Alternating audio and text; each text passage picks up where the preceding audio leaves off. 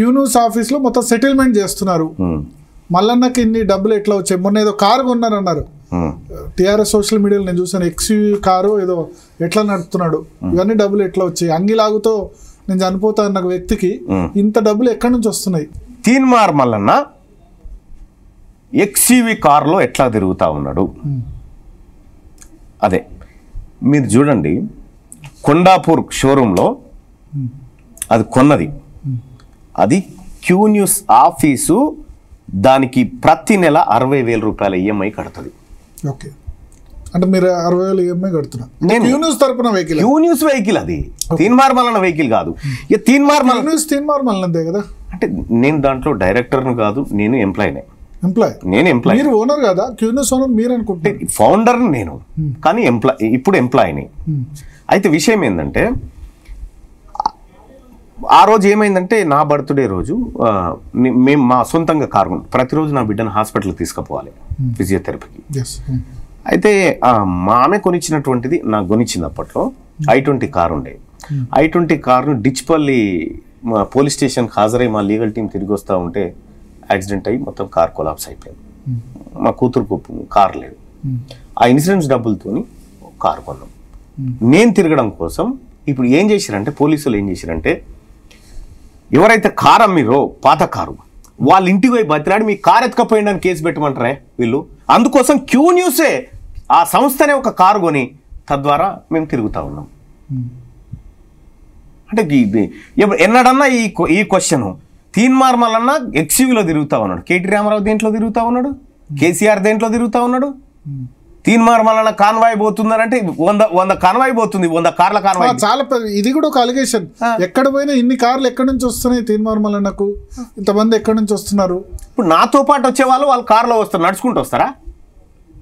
నడుచుకుంటాను అయితే రారుగా. ఇవ ఇవాళ నేను కేటీఆర్ కేసీఆర్ గవర్నమెంట్ వెహికల్స్లో తిరుగుతారు. నేనేమంటున్నా ఈ ఈ రెండు వేల నాలుగులో కేసీఆర్ కార్లెన్ని ఇయాల కార్లెన్ని రెండు వేల పద్నాలుగులో వీళ్ళ ఆస్తులెన్ని ఇప్పుడున్న ఆస్తులెన్ని నేను గివ్ ఎప్పుడన్నా క్వశ్చన్ చేసి రా ఈ మాట అడిగేటోళ్ళని అడుగుతున్నా నేను. మీరు మీ ఆస్తులు డిక్లరేషన్ చేసిన సిద్ధమా? వంద పర్సెంట్. మొత్తం వంద పర్సెంట్ సిద్ధం. వంద పర్సెంట్. ఇప్పుడు మీకు రెవెన్యూ వస్తుంది దాన్ని ఏం కాదని లేదు. కానీ అబ్నార్మల్ గ్రోత్ ఉంది మీకు మీకు తెలుసు భరత్ అన్న. ఐదు సంవత్సరాల క్రితం మనం పనిచేసిన ఐదారు సంవత్సరాల క్రితం. లక్షన్నర జీతానికి పనిచేసిన నేను ఆ రోజు. లక్షన్నర రూపాయలు. ఒక ఐదేళ్ళ పాటు పనిచేస్తే నేను ఎంతో కొంత సంపాదించుకోవచ్చు. సేవింగ్స్ అవుతాయి ఎక్కడ ఇన్వెస్ట్ చేస్తారు. సరే మీకు తెలుసు కాబట్టి చెప్తా ఉన్నా. ఎందుకంటే మీరు కొలిగ్గా ఉంటే మనం కలిసి పనిచేసినాం కాబట్టి. తీన్మార్ మల్లన్నకు ఈ యూట్యూబ్ల ద్వారా ఈ వెబ్సైట్ల ద్వారా పర్సనల్ పేమెంట్లు ఏం రావు. ఆ సంస్థకు పోతే ఆ సంస్థ నాకు కొన్ని సౌకర్యాలు కనిపిస్తుంది. ఇవన్నీ జరిగితే.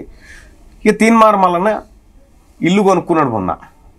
మీరు చూడండి అన్న తీన్మార్ మల్లన్న ఎక్కడ రెంట్కుంటే అక్కడ అధికార టీఆర్ఎస్ పార్టీ వాళ్ళు ఓనర్లను బెదిరించడం. ఆయనకి ఇల్లు ఎందుకు ఇచ్చారు? ఇల్లు ఇచ్చారు కాబట్టి మున్సిపల్ వాళ్ళు దీన్ని గులగొడతారు గోడ గుల ఇట్లా బెదిరించిన తర్వాత సొంత ఇల్లు కొనుక్కోవాల్సి వస్తుంది. సొంత ఇల్లు ఎట్లా? ఇక్కడ మాకు అక్కడ నా ఎన్నికల మేనిఫెస్టో అవిడ ఇట్లా ఉంటుంది చూడండి. మా మిస్సెస్ ది ఒక ప్లాట్ ఉండే ఒక ఖాళీ జాగా ఉండే ఒక నూట ముప్పై మూడు గజాలు. సో ఆమె కూడా government employee. Government employee teacher ఆమె. ఆమెకు యాభై అరవై వేలు శాలరీ వస్తుంది. అది అమ్మి అదో ఇదో అన్ని కలిపి మొత్తానికి ఒక ప్లాట్ కొనుక్కున్నాం. ప్లాట్ కొనుక్కొని లోన్ పెట్టినాం. నలభై ఎనిమిది లక్షల రూపాయలు లోన్ పెట్టినాం దాని మీద. ఇవి నేను నేను చెప్పిన వివరణలు ఇప్పుడు కేటీ రామారావు ఈ వివరణలు చెప్పగలుగుతాడా? పెడతారు కదా ఎలక్షన్ అఫిడవిట్లో ఫైల్ చేస్తారు కదా ఎప్పుడు? ఏమని? వేల పద్దెనిమిది అసెంబ్లీ ఎన్నికల్లో మీరు కేటీ రామారావు అఫిడవిట్ ఉంది Yes, yes. కేసీఆర్ అఫిడవిట్ కూడా ఉంది. ఉన్నాయి. కానీ ఈ గ్రోత్ సంగతి ఏంది? ఈ గ్రోత్ లేడానికి వచ్చినాయి. తీన్మార్ మల్లన్నకు వచ్చినాయి అంటే తీన్మార్ మల్లన్న పని చేస్తా ఉండు గాడిదలు గాయట్లేదు. పని చేస్తా ఉన్నాడు. తీన్మార్ మల్లన్న ఛానళ్ళలో పని చేస్తా ఉన్నాడు. తీన్మార్ మల్లన్న ఎవరికైనా కంటెంట్ కావాలంటే రాసిస్తాడు. తీన్మార్ మల్లన్న పనులు చేసుకుంటా ఉన్నాడు. నా కుటుంబం అంతో ఇంతో పనులు చేసుకుంటా ఉంది. ఇవాళ క్యూ న్యూస్ ఆఫీసు లేకపోతే మాకున్నటువంటి వెబ్సైట్ల ద్వారా బాజప్తగా గూగుల్ పే గూగుల్ ఇచ్చేటువంటి పేమెంట్ ఇన్కమ్ ట్యాక్స్ కట్ అయి మాకు వస్తూ ఉంటుంది. Hmm. ఇంత ప్రాంప్ట్గా బ్యాంక్ అకౌంట్లలో లెక్కలు ఉన్న తర్వాత కేసీఆర్ కేటీఆర్ కూడా వాళ్ళు మీరే అంటారు వెలమ దొరలు ల్యాండ్స్ ఉన్నాయి. ల్యాండ్స్ రేట్ తెలంగాణలో ల్యాండ్స్. నేనేమంటున్నా కేసీఆర్ అంటారు కదా కేసీఆర్ ల్యాండ్స్ కేసీఆర్ దోస్తు మాధవరెడ్డి అని ఉంటాడు. ఇప్పుడు ఫోన్ చేద్దామా? ఈయనకి ఎన్ని ఇన్ని ఈయనకి ఎన్ని ఎకరాలు ఉంది ఈయనకి ఎంత సంపాదించిండు? వీళ్ళ ఆస్తులేంది? ఒక్కసారి చూద్దామా? ఇదే డిబేటు చింతమడక కాడ పెడితే తెలిసిపోతుంది కదా. కేసీఆర్ అని పుట్టుకతోనే దొర కదా? నేనేమంటున్నా పుట్టుకతో దొర కావచ్చు. ఇక ల్యాండ్స్ ఉన్నాయి పెద్ద ఆస్తులు ఉన్న వ్యక్తే కదా అంత మీ- మీ- మీకోటి కింది స్థాయి నుంచి రాలే కదా అంటారా వీళ్ళ వీళ్ళ ఆస్తులు వీళ్ళ ఆస్తులు వీళ్ళకు ఉన్నటువంటి ఐదు పది ఎకరాలు అదేదో నిజాంలో సాగర్లో దీంట్లో మునిగిపోతే మళ్ళీ చింతమడకకి షిఫ్ట్ అయ్యారు. ఆ పైసలు తీసుకుని చింతమడక కాడ ఏం ఎకరాలకు పోయి ఏం లేకుండా వీళ్ళకు. ఆ బడి కట్టిన అడుగు జాగా అది ఆ ఎస్బీఐ బ్యాంక్ ఉన్నటువంటి ఆ జాగా గంతే. అంత మిక్కిలి పెద్దగా ఆస్తులు ఏం లేవు. ఇక్కడ లాడ్జి గోనె రావు గారు చెప్తాడు లాడ్జి కిరాయి కడతాను పైసలు లేకుండా ఎగ్గొట్టిపోయింది అని చెప్పి. గోనె రావు గారు నడుగురి ముఖ్యమంత్రి అయ్యే టైంకైతే డీసెంట్ గానే ఆస్తులు ఉన్నాయి రెండు వేల పద్నాలుగు వరకు అయితే అంటే తెలంగాణ ఉద్యమంలో ఆస్తులు సంపాదించిండు ఈయన. తెలంగాణ ఉద్యమం అడ్డం పెట్టుకుని ఆస్తులు సంపాదించిండు. తెలంగాణ ఉద్యమం ఎట్టిట్ట నడుస్తూ ఉంటుందో ఈయన ఫామ్ హౌస్ ఎకరాలు అట్టట పెరుగుకుంటూ వచ్చినాయి మీరు అబిడబిట్లు చెక్ చేసుకొని చూడండి. కానీ నేను అనేది ఏంటంటే అందరు ఆస్తులు పెరిగాయి. కాంగ్రెస్ పార్టీ వాళ్ళే పెరిగాయి అందరి పెరిగాయి. కానీ వీళ్ళే అందనంత పెరిగినాయి. వీళ్ళే అందనంత పెరిగినాయి. ఓకే. ఉం. సో అంటే సరే వాళ్ళ సంగతి పక్కన పెడితే ఇప్పుడు- ఇప్పుడు నన్ను- నన్ను- మిమ్మల్ని పొలిటీషియన్ కాకుండా మీరు ఈ వాగ్దానం చేశారు కాబట్టి జనరల్గా క్వశ్చన్ చేస్తున్నారు. మీరు కూడా ఆస్తులు డిక్లరేషన్ అనౌన్స్ చేస్తే మొత్తం నేనేం నేనేమంటున్నా నా ఆస్తులన్నీ రాష్ట్ర ప్రభుత్వానికి రాసేయడానికి నేను సిద్ధం. ఓకే.